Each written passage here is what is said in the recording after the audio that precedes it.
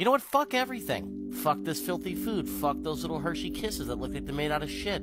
Fuck that rice. Fuck your tight jeans. Fuck that bucket. Fuck the dusty bike in the background. Fuck his peppered gray hair. Fuck your fingertips touching every grain of rice. Fuck the fact you're scooping that with your bare hands. Fuck the forbidden mashed potatoes. Fuck that stupid pathway that you have to walk to carry your food. Fuck the lack of IQ. Fuck those open toes. Fuck the fact that you decided to wash your hands over the food. Fuck your little hidden shop that's underneath a train track.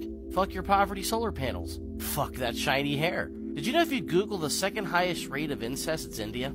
Out of that, first place is a tie between Libya, Pakistan, Afghanistan, and Iraq.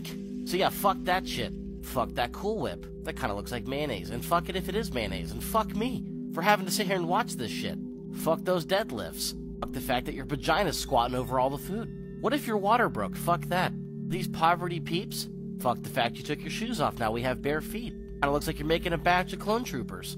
Fuck that too. Fuck the overgrown area in the background. Fuck the black tarps. Kinda sounds like a derogatory term for people. Let's start calling them black tarps. Fuck this job, I wouldn't last two minutes.